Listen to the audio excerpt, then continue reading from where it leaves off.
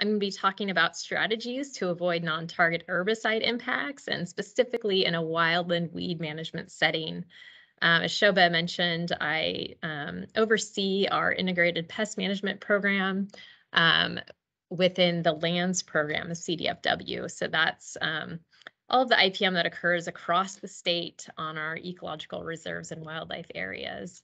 Um, and given my background in toxicology, the one of the main focuses that I really kind of focus on is, um, you know, avoiding those non-target impacts. Um, so what are the safest uses of herbicides uh, or alternative methods um, to protect, um, you know, beneficial species? So um, I'm sure many of you are familiar with what integrated pest management is. Um, but as a brief overview, um, IPM is not just, you know, using multiple methods to control invasive species, um, but it's also all the other things besides the actual action to control. It's things like properly identifying species, um, prioritizing your treatments, um, developing goals for treatments, developing goals, um, the actual implementation itself, of course, um, which includes things like avoiding, um, you know, the invasions um, in the first place. So cultural methods to avoid, um, to prevent invasive species from uh, inhabiting your site, and then follow-up monitoring to see what the efficacy of your treatments are or your practices. Um, and it's it's a it's a cycle as you can as you I'm sure are familiar some of the um, aspects of this cycle that I'll be talking about today are uh, the proper identification of invasive species um, and some tools that you can use to help identify species, um, prioritization, um, some tools that are available to help you prioritize um, treatments. And then um, a lot of what I'll be discussing are topics related to implementation, such as what are the relative toxicities of some of the herbicides available um, for treatment? Um, what are some best management practices to avoid impacts on pollinators? Um, how can you, what are some tools we can use to look up potential impacts on listed species and what kind of practices you're required to follow um, when using um, herbicides, um, as well as uh, organic herbicides as an alternative and what are the pros and cons of those? So I'm going to start with some tools that um, you can use to help identify species in the field. Uh, I have a feeling most of you are familiar with iNaturalist. It's a, a mobile app that you can have on your smartphone or your iPad when you're in the field. And all you do is take a picture of your species of interest and upload it to the app and it can give you some uh, possibilities of what that species might be. Um, it uses information from what other folks in the field have documented on the site. So you can use this app to also, um, you know, upload data. You can actually um, uh, add data to the site. Um, and a lot of citizen scientists and, you know, career scientists do this. And um, as a result, there's a, a large database of information about what species occur across different areas. And so it uses both that spatial information that's in um, the database as well as the pictorial information, visual information um, to identify what you know possible species that you might be looking at. So this is a really helpful tool. I use it all the time. I'm not a botanist, and so um, I really rely on tools like this to help me identify species um, that I'm just not familiar with yet.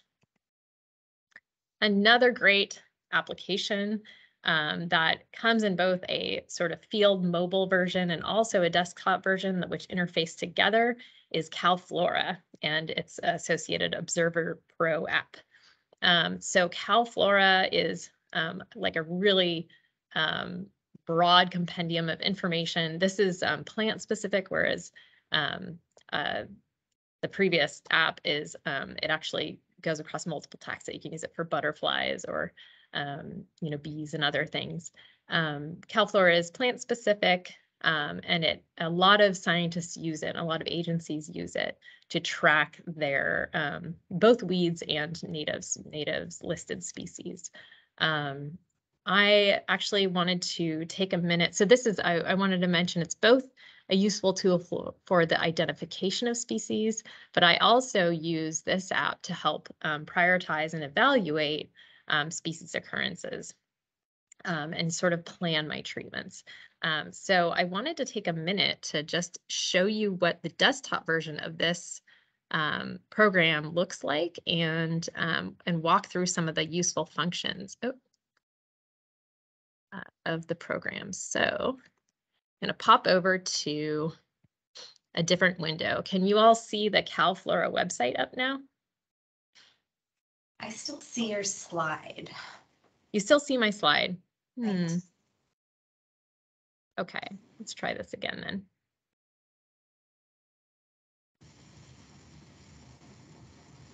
So what I'm actually going to do is I'm going to share my screen instead of my window. Okay, now can you see the CalFlora website? Yes, now. Lovely. Okay. so um, for anyone who's not familiar with what CalFlora is, this is what the website looks like. If you just type in CalFlora into your Google search bar, this is what will come up. So this is the home page. Um, right now, can you can see my cursor, is that right? So on the upper right hand side, you can see that I'm actually signed in. So you can create an account with CalFlora. And this, um, uh, you can use the website with or without an account, but there are some additional functions that are available to those that have an account. Um, and you can save searches, you can you can add observations and track, you know, your own, you know, can conduct monitoring basically using um, this website. So um, it's very helpful to create an account and it's free.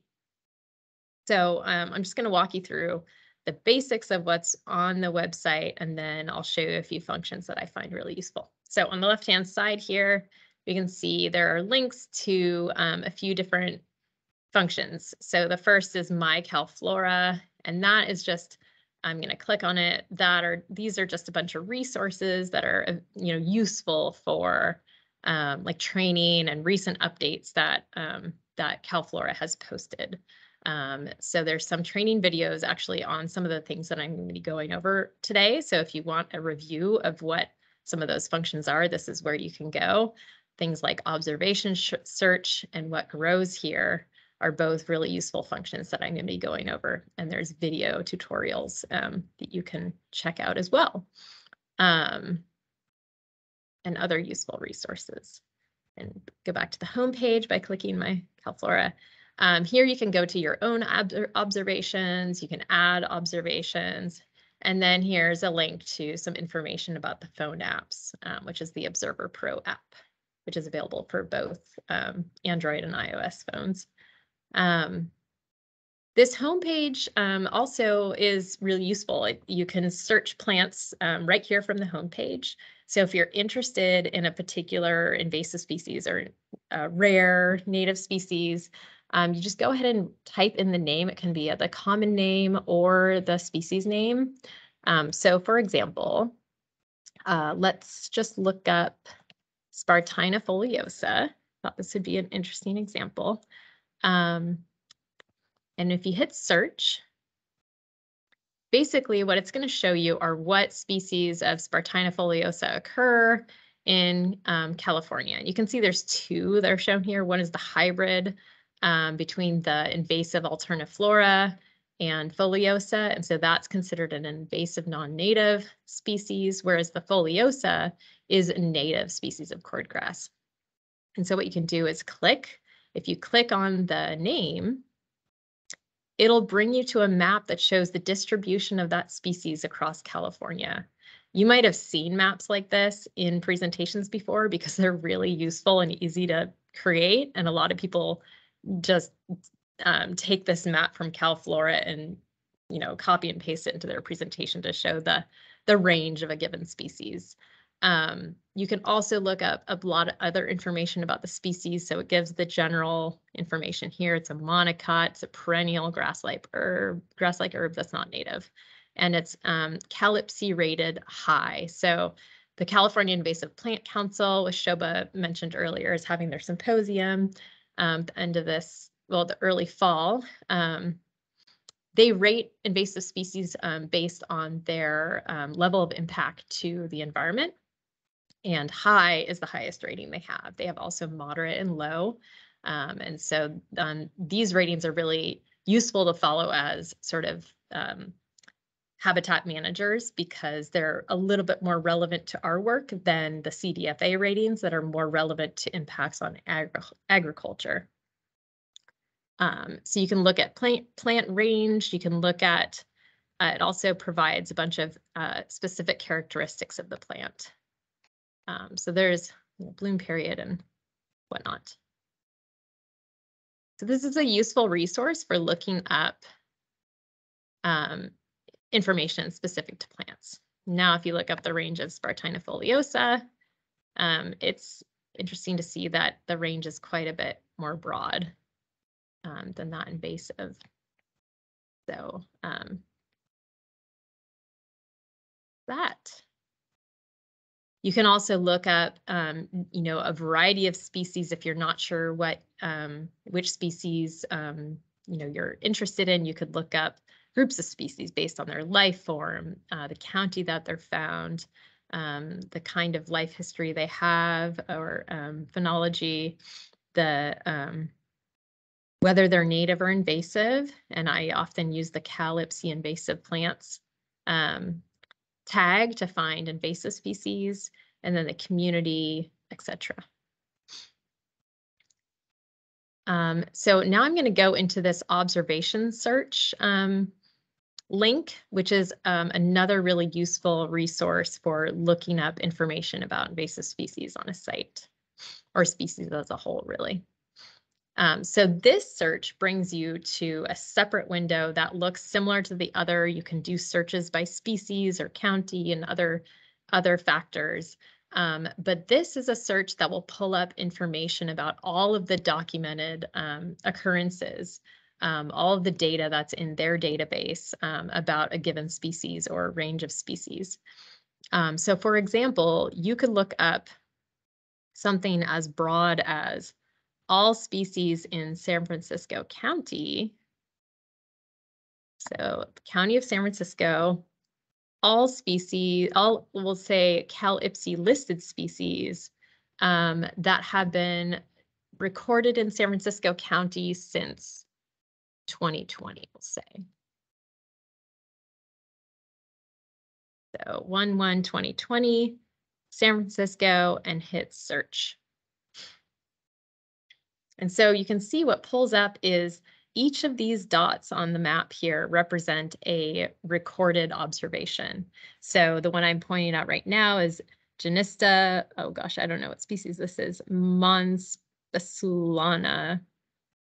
Uh, not familiar with that species, but um, the the common name, you could, I believe you can click it and it'll have more information here. So um, Oh, but not the not the common name. Record detail. Here we go. French broom. Okay. I should know that one. You guys probably know that one. um, so anyway, this is a list of all of the um, the documented um, recordings of invasive species on the site. And we can see that, so there's 195 records. That's quite a few. Um, so if you're interested, you can take, um, you can actually download this data go to tools, download results, and there you'll have, a, you know, essentially documented all of the recorded information. Um, or if you're interested, um, another way to do this is rather than searching by an entire county, you can actually draw a polygon on a map. So if you're only interested in um, a certain part of San Francisco, let's say, there's not too much in Golden Gate Park, but let's say you're only in, interested in the Presidio, um, then you can draw a polygon.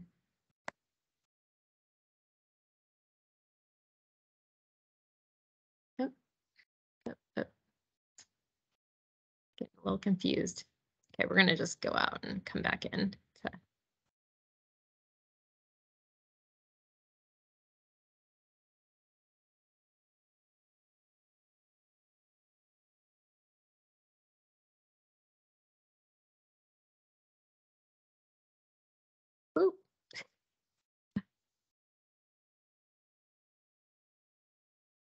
All right, so draw a polygon. Start drawing. Doesn't have to be perfect. Oh, come on. Go. Just do that. Not the perfect, but uh, for the purpose of. Okay, and then um, you can do a search within the polygon. Any CalIPC listed species. And we'll just say that have ever been recorded. So I didn't indicate a date. And you can see there are 991 records of invasive species that have ever been recorded within that polygon. I missed parts of the Presidio, but um, anyhow, so this is a really useful way to look up data um, around a specific area. Um, another quick thing that I'll show you is you can look up by other things um, in this. There's a layers option here that provides, you know, um, a lot of different layers you can add to your map. And you can look up by protected areas, which can be especially useful for those of us that work on protected areas. So, um, so if you click protected areas um, now,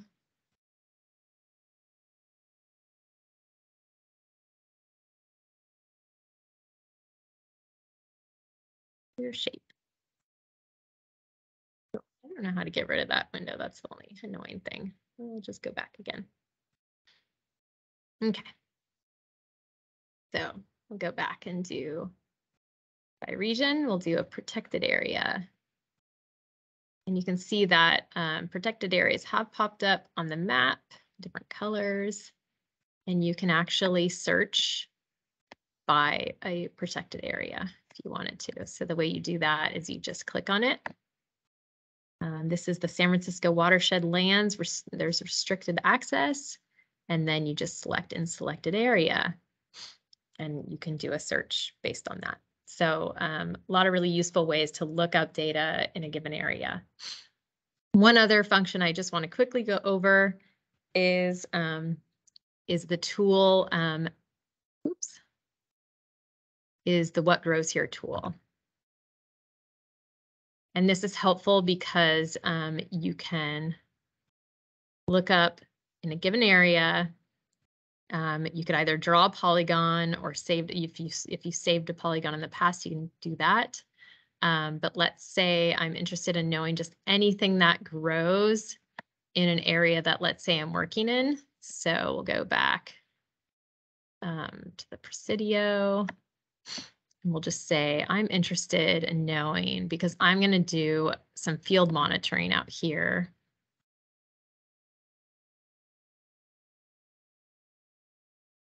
Should be drawing a polygon. Stop drawing. Start drawing again. There we go. Okay. So I'm interested to know, um, let's see, again, you can look by status.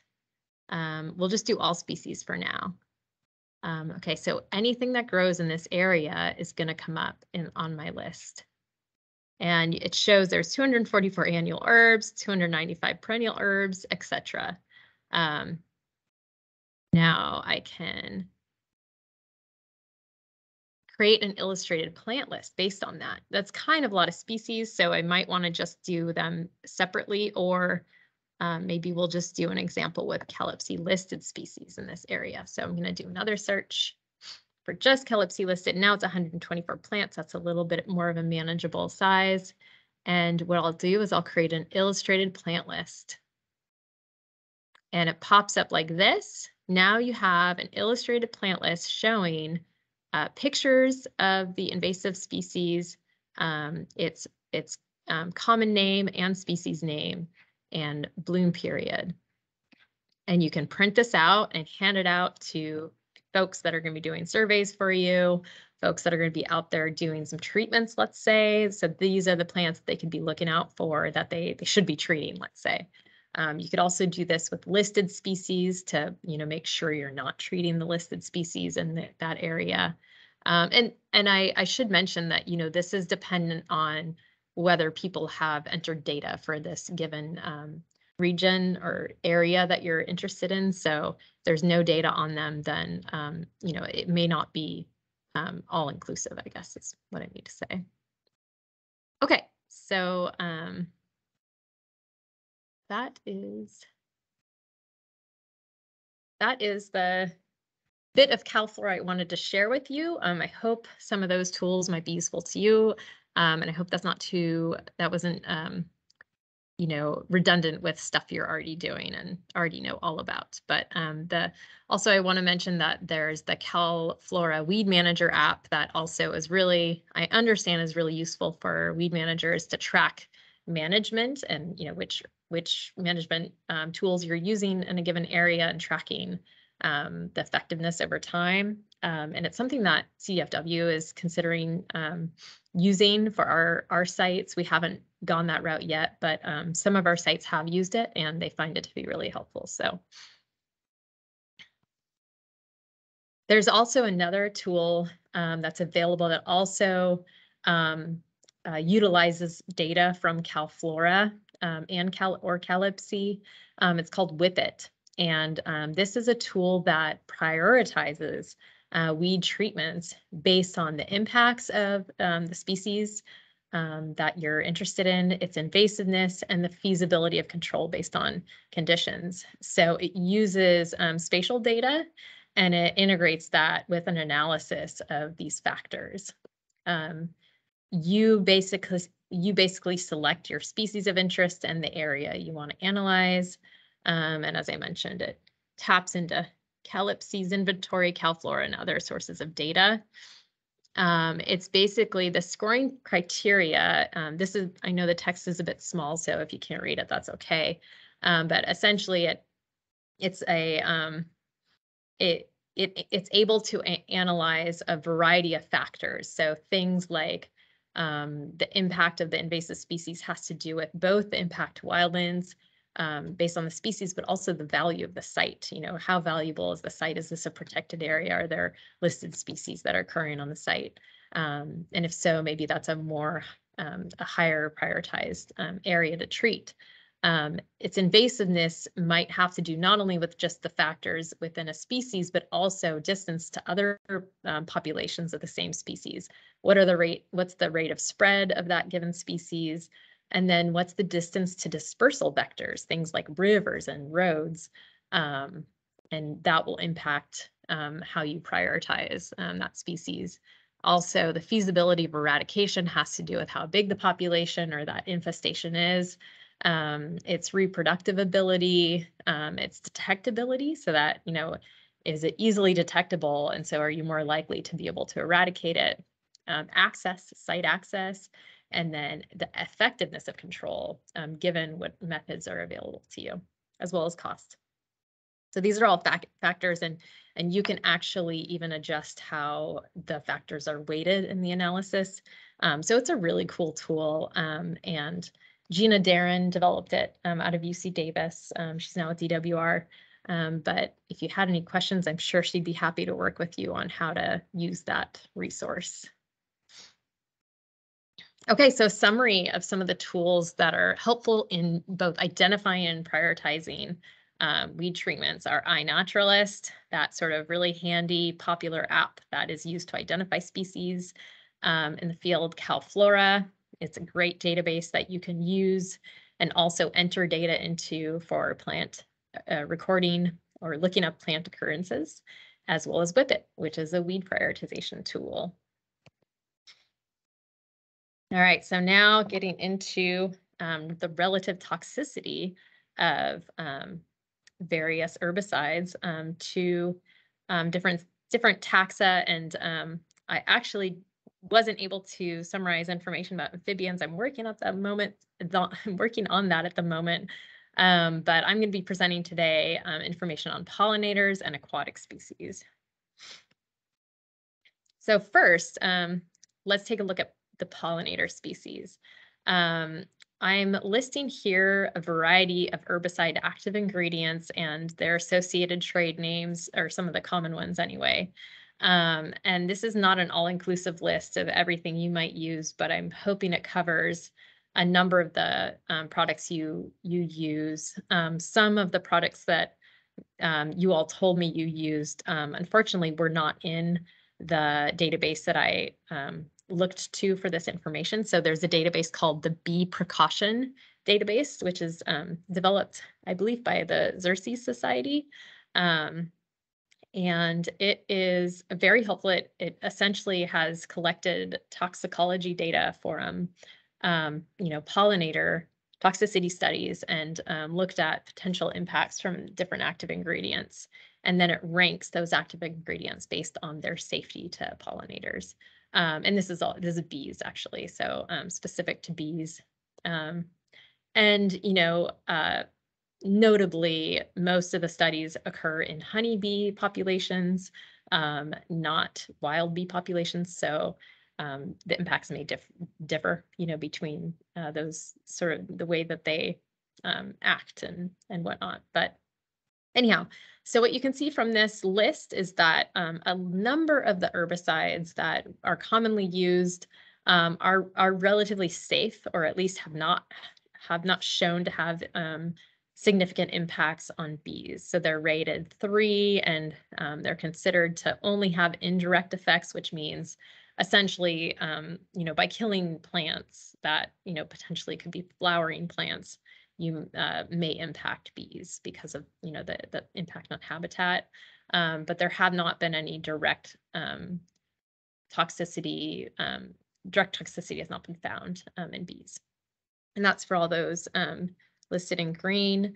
There are a few herbicide act active ingredients that are that have been shown to have some effects on bees, including um, toxic to the honeybee brood or um, other bee species. And many of these are sublethal effects. So there may be effects on, you know, growth, um, oops, feeding, um, etc. So those are 2,4-D, which are um, which is a broadleaf um, specific herbicide. Uh, one common product is called Weedar. Others are just go by the name 2,4-D. Um, I included copper hydroxide in here because it's not a herbicide per se, but it is used a lot for algae control in aquatic environments. Um, and it's actually considered an organic um, pesticide. Um, it's a fungicide and an algicide, and even maybe a bactericide. Um, but um, it, it's actually pretty, it, it can be toxic to, to bees. so that's an interesting side note. And then glyphosate. Um, y'all are probably familiar with the fact that glyphosate has um, been shown to have some sublethal effects, direct sublethal effects on bees. Um, and so it's listed in the yellow as well. And then at the bottom, I'm including an insecticide that's commonly used and also widely known to have significant impacts on bees, and that's imidacloprid. Um, and and that's a, you know an example of red, um, where there are definite direct effects on bees and also it's toxic to the brood and you know several bee species. Um, and this is the case actually with most insecticides you know insecticides because they specifically target insects um, are gonna likely have inadvertent effects on other insect species so. Um, I also did a search for impacts of um, various um, aquatic labeled um, product uh, herbicide products on aquatic species. Um, and I, I compiled this information from EPA's EcoTox database. Um, EPA compiles toxicity data from basically all studies and puts it all into one database where you can look up um, any kind of potential contaminant. It could even be um, natural toxins like microcystin is in there, um, but also tons of pesticides and um, and other you know pollutants such as um, PCBs, um, uh, some some plastics, things like that. Um, so I analyzed for a number of different herbicides and compiled information and looked at essentially the studies that found the worst effects, so the, the most severe responses. And I listed them in terms of the the concentration that cause a significant effect, and that's in fish and invertebrates. And in this case, with imazamox, um, there were no um, lethal, and so I was looking at lethal effects um, above 100 milligrams per liter. And um, this by EPA's, EPA categorizes um, uh, chemicals based on their toxicity um, based on these categories that I provided. So greater than 100 ppm is basically non-toxic um, down to, you know, highly toxic, which is less than 0.1. Um, and so I kind of followed EPA's guidelines to create these categories. But this is data that I compiled. It's not data that EPA has um, has provided. So um, take it with grain of salt. Um, but um, as you can see, there are a few chemicals on the list that um, really have almost no toxicity. I mean, uh, greater than 100 ppm is is quite is a lot of material. It, you'd have to dump, you know, an entire, um, you know, tank of or an entire um, container of imazamox in a water body to get to get 100 ppm. That's that's a lot of material. Um, and at that level, there was no effects on um, on on fish and invertebrates, or sorry, no lethal effects. And um, in addition to that, I'm including the National Pollutant Discharge Elimination System maximum limitations. And this is essentially how much EPA considers to be a safe amount in the environment. And for imazamox, there's no limit. So you are not exceeding um, their limit, even if you detect 100 parts per million um, after you do a treatment uh, when you do monitoring for NPDS. Um, whereas with Garlon and Vastlan, um, the sort of safe level is considered to be 13 parts per million, which is again for a, um, a chemical in water, that's a pretty high amount. Um, and so um, that's an indication that this is a, real, a pretty safe product as well. Um, where the imazapyr products, Habitat and Polaris, that level is 11.2 ppm. Um, and then it goes down to some of the products that are um, kind of moderately safe, uh, fluridone, flumioxazin, carfentrazone, and then glyphosate. And all of those, um, you know, are kind of in the yellow in terms of their potential effects on aquatic invertebrates and fish. Um, and as you can see, the NPDS ratings follow um, similarly, and flumioxazin and carfentrazone don't have maximum limitations like imazamox, and partly that could be because um, these are newer products and they just haven't been developed yet. Um, and glyphosate, as you can see, is uh, 0.7 parts per million, which is a, a little higher even than fluridone. Um, so it's it's um, you know based on the data, it's actually one of the just moderately toxic or uh, you know compounds relative to some of the other ones that are also registered for aquatic uses. So it's definitely not the worst um, in, in terms of aquatic impacts. Um, and it's also probably the most studied compound. Uh, it is the most studied herbicide. So the data that I use to look at glyphosate, there are like probably um, you know hundreds of studies, whereas some of these others only had 10 studies. Um, and so that, you know, and I'm looking at the the worst outcomes, the work, you know, the study that showed the greatest effect. And so um, there's some, you know, um, uh, that will affect, you know, the results. Oops. Um, so you can see some of these other compounds that are a little more toxic. Again, a common one is 2,4-D and copper. Um, I'm including that again because it's commonly used in aquatic environments and um, it's it's highly toxic to fish and invertebrates. Um, 2,4-D also um, primarily 2,4-D is known to be toxic to invertebrates, um, but it also has impacts on fish. Same with diquat. This is a common one that's used in the Bay Delta system, um, but it is it is highly toxic to invertebrates. So um, there's you know reason to be precaution in that in that regard. Now here at the bottom is a ingredient you may or may not have heard of, nonylphenol. Um, I'd be just curious, can anyone tell me what um, nonylphenol is an ingredient in? Which product? Does anybody have an idea? Maybe you saw, um, I quickly went to the next slide that actually had a, but you're Laundry, welcome to, laundry Okay. detergent. It used to be in laundry detergent. It was in lots of other uh, cleaning products, but they've been the EPA has some. Yeah, okay. Yeah, it's it's it is in uh lots of different products.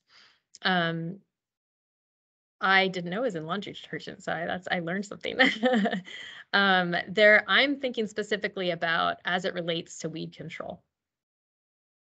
Does anyone know what this product, this chemical might be in in regards to weed control? Or this chemical, it's not a product. All right, I'll give you a hint. Um, here are a couple um, of the names of products. Are you all familiar with R11 or Activator 90? Um, so these are two of the most common adjuvants that are added to um, to products to help them bind to um, you know leaf surfaces, um, also referred to as surfactants. And um, the nonylphenol surfactants are also, they're often the active ingredients actually um, typically listed as alkyl phenol ethoxylates. And nonylphenol is uh, what it breaks down to rapidly when it enters waterways. Um, and this, as you can see from the list, is one of the most highly toxic ingredients in a herbicide mixture. Um, and even you can see from the NPDS maximum limitation, that it is, you know, magnitudes lower than glyphosate, the glyphosate limitation. Um, and everybody focuses on how, you know, harmful glyphosate can be to non-target species. But look at how much more harmful just the adjuvant that you add to your tank mix is um, could potentially be to to non-target species.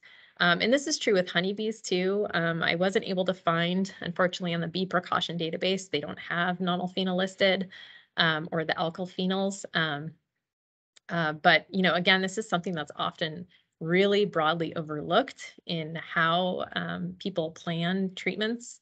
I have discussions all the time with managers about, you know, they're doing all the safest methods, using the best management practices, using aquatic safe, you know, formulations and, you know, avoiding um, using glyphosate or whatever it might be but they're using one of these nonylphenol adjuvants, and um, you know that that that could potentially have the greatest effect. Um, so how do you know whether your adjuvant that you use is a nonylphenol adjuvant? You look at the active ingredients on there. If it says alkyl phenol ethoxylate on there or something that sounds similar to that, a lot of times it's some some other kind of phenol ethoxylate, um, an alcohol ethoxylate of some sort. Um, that's the one that those are the ones you want to avoid what are some adjuvant alternatives that are actually fine in the environment? Um, these are two really common ones, Agri-Dex, competitor, another good one is Hasten. Um, and these are like modified vegetable oils, basically.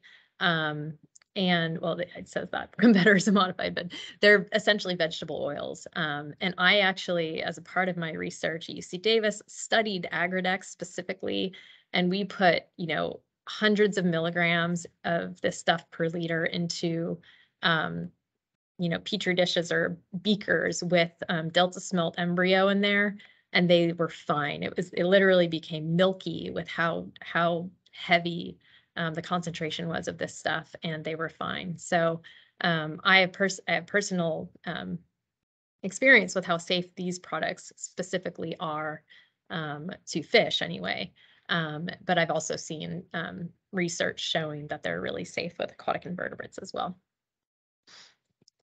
And uh, terrestrial invertebrates.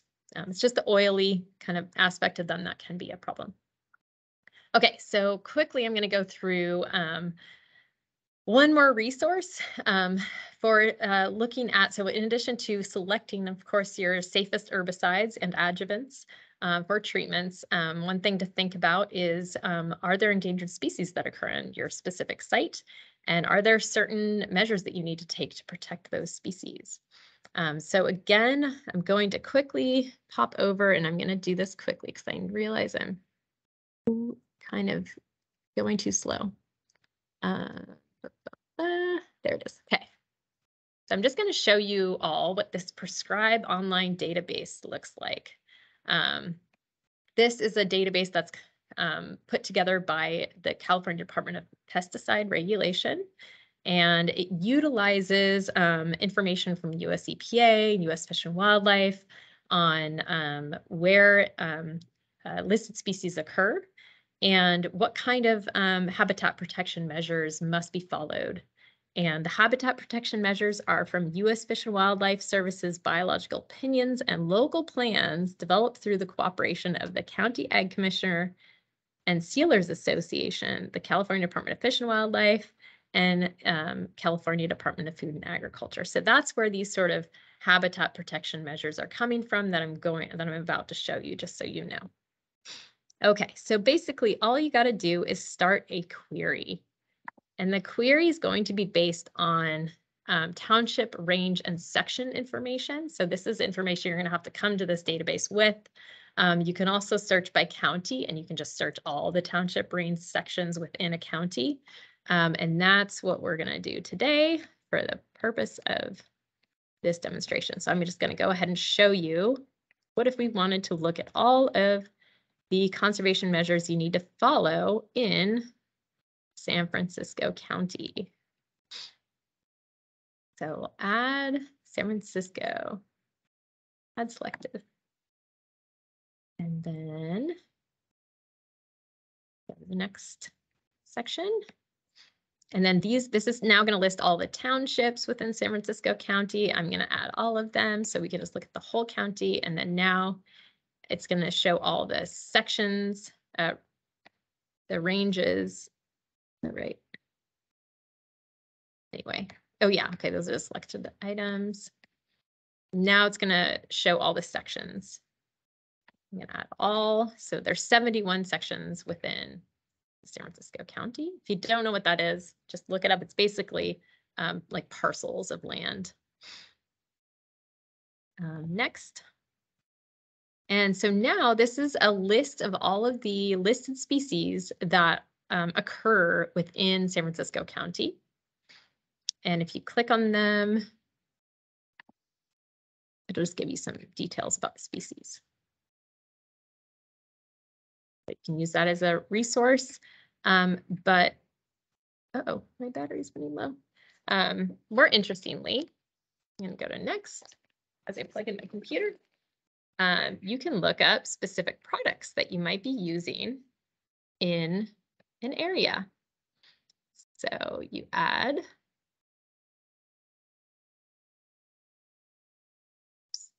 so you rodeo.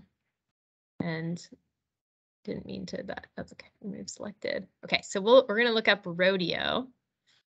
And that is a glyphosate based herbicide um, then if you scroll down, it's going to provide um, observed use limits. These are the use limits for the selected products. And I'm going to let you read that as I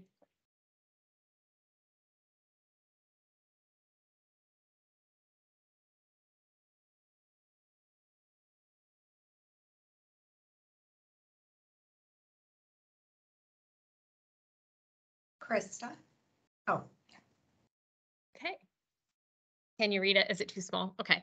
So essentially, um, for glyphosate in San Francisco County, the use limits include an occupied habit. It says do not use in currently occupied habitat except if specific, except if specified in species descriptions or in organized habitat recovery programs or for selective control of invasive exotic plants. And then um, the next use limitation, it has to do with spray drift. And it essentially says, um, be careful about spray drift and do not make applications within 200 yards by air or 40 yards by ground upwind from occupied habitat. Um, that's habitat occupied by any of these listed species. Um, and you can work with your county ag commissioner um, on circumstances where it might be allowed. Um, so this is a useful website and resource to use if you want to get a sense of, you know, which potential listed species occur in your treatment site and what special conditions you need to follow. Um, I will say glyphosate is one of the few that actually has special conditions listed for it. And to be safe, I generally like to follow the same conditions for other herbicides that I used because there may not be special conditions required, but um, I think it's a kind of a, a safe, these are safe guidelines to follow to protect, you know, listed species. Um, there are also, of course, guidelines with um, specific listed species like um, the stipulated injunction with red-legged frog that um, is separate from this that should be followed.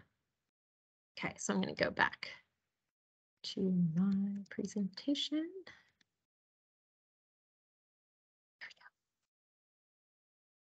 Okay, so in summary, avoid alkyl phenol ethoxylate um, or other or similar adjuvants use the safest active ingredient you can, um, given your circumstances, and look up special conditions you need to follow in the prescribed database.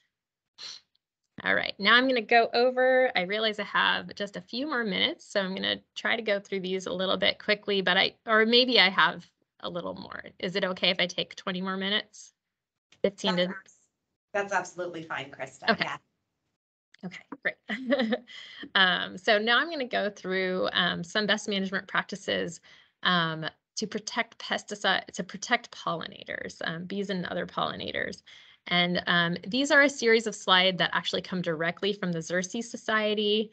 I um, received permission to present these slides, and um, so I'm mostly just going to be kind of reading from them. I apologize for that since these are not my slides, but they're I thought they're a really useful source of information. Um, we had some folks from Xerces come and present to our group um, last year, and um, and you know they're a great resource for anything pollinator related. So highly recommend reaching out to them. Um, but in general, so um, re related to pesticides and pollinators, um, toxicity research is still fairly limited uh, for many native pollinators, especially. So a lot of the work is done in honeybees, as I mentioned before, which are kind of the model um, species for pollinators in general. And there's especially little research um, looking at fungicides and herbicides. A lot of those that research is done on insecticides because those are the ones that are most impactful. Um, and of course, there's always the unknown of mixtures, how you know different chemicals mixed together on a site might affect an organism more than um, the individual components that are, you know, which is how we usually study them. Um, pesticide use, especially insecticides, can contribute to pollinator declines, and that's especially been shown with um, uh, some, you know, the imidacloprid type compounds, um, other insecticides. Um, but also sublethal impacts can reduce populations. So that's why we're still interested in protecting bees from um, herbicides and other pollinators. So some of the pathways bees can become exposed to herbicides, there's several. It's not just, you know, spraying a bee or or spraying, you know, the flower that the bee would then pollinate, but there's other things. They can um, bees use nest material, so they can use foliage from plants as nest material. That's another way that they can become contaminated. Um, probably the most common is um, exposure from, you know, pollinating flowers or collecting nectar um, and pollen from flowers. Um, when they land on the flower that's recently been sprayed, they're going to get um, pesticide on them. Um, other ways, though, is you can contaminate their nesting sites. Many of our native bees are ground nesters, and um, spraying herbicides on the ground can contaminate their sites directly. Um, or systemic contact. So if you spray a systemic herbicide that then you know gets incorporated into the material of a plant, and um, the bees you know use that for foraging, um, they could get um, contaminated that way as well. So these are all sort of potential exposure pathways.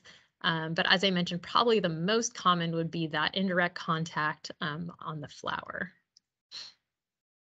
And one of the most common herbicide impacts is really the indirect effects. And so that is essentially the removal of their habitat, um, both the flowers for foraging and also host plants such as uh, milkweed, um, for the monarch butterflies or other beneficial host plants that butterflies require for their life cycle. Um, also reductions in plant vigor can reduce forage quality, um, etc. Um, herbicide impacts um, as I kind of mentioned, they rarely kill pollinators outright, but they can have um, sublethal effects that are significant. Um, most of the toxicity studies are done at really high concentrations in order to have a significant result that can be, you know, useful. Um, but sometimes there are even studies with lower doses that are that are impact that you know have been shown to be significant. Um, there's a, a bunch of studies that are still in in EPA review, and so hopefully we'll have more information out in the near future. Um, some of the results that have come out of glyphosate research, uh, research with glyphosate and bees, is that glyphosate can change honeybee gut micro the gut microbiome. Um, high doses delay molting, reduce brood survival and weight. Um, they have impaired navigational and learning abilities, and there can be effects on the immune system. And again, these are at generally higher concentrations, most of these studies than what you'd expect to see in the field, but still um, you know, there are definitely possibility, there's definitely a possibility of um, uh, significant effects on bees. Um, some other studies have shown that imazapyr, sethoxydim, and triclopyr reduce larval survivorship in butterflies, um, though the authors of that study suspected the impacts might be due to the inert ingredients in the formulations and not due to the active ingredients themselves. So that's something that should be studied further is looking at, you know, isolated active ingredients versus, um, you know, formulations because that there is often a real difference. A lot of times those inert ingredients are the are the bad ones actually. Dicamba, though, has been shown to reduce caterpillar and pupal mass, and 2,4-D again is one that has potential larval toxicity. And I, again, just because that one is another one that was mentioned with some of the um, terrestrial insect, well, bees and um, and aquatic um, fish and invertebrates. So what are some methods that um, we can all use, some um, best management practices to reduce the impacts of um, our weed management program on pollinators? Um, one is to consider non-chemical options, of course. Um, something that's definitely, you know, we need to consider, you know, grazing as much as we can. Use goats, you know, use mowing. Um, mowing at the right time can sometimes be really effective, if especially if you're um, talking about annual infestations as opposed to perennials. Um, make sure that you're training your staff in plant identification, and we talked about some tools you can use for that uh, to make sure that you're not having impacts on beneficial species, you know, um, like these milkweeds that we see in the picture. Um, and when you're doing your weed treatments, you're in, not inadvertently affecting uh, beneficial plants. Um, choose selective herbicides when you can. So rather than these broad spectrum herbicides that kill everything,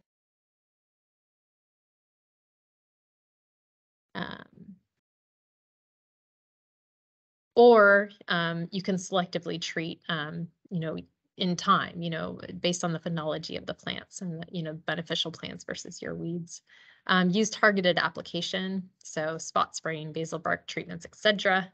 Um, and consider removing blooms before spraying. That's another way you can um, remove that sort of potential source of contamination to pollinators. Um, of course, or just don't spray during blooming periods is, a, is another big one.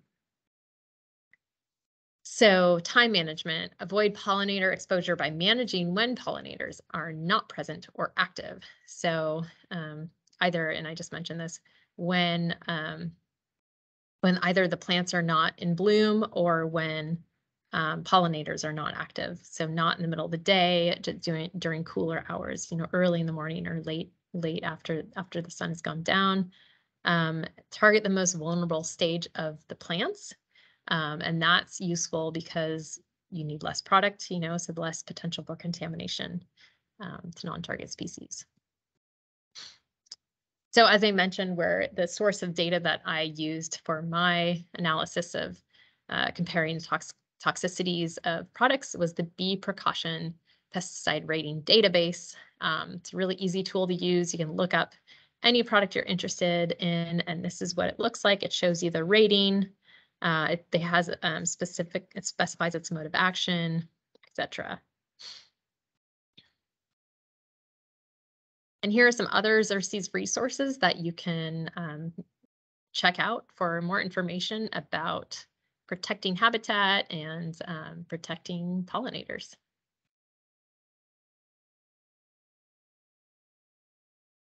So in summary, consider alternatives to chemical approaches when feasible.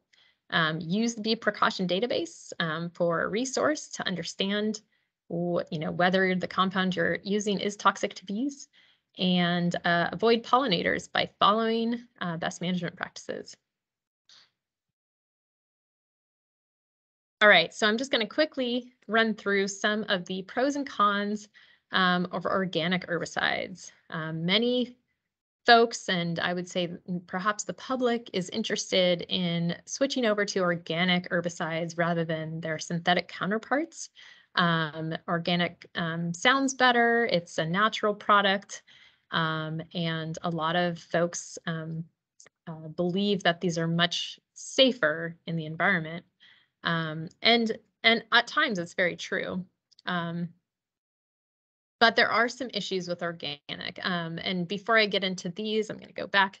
Um, I just want to mention that um, I, I, unfortunately missed, but in my overview of the toxicology of various um, compounds to bees, there were two organic herbicides in there, and they both were in the green. They were considered to be safe for bees.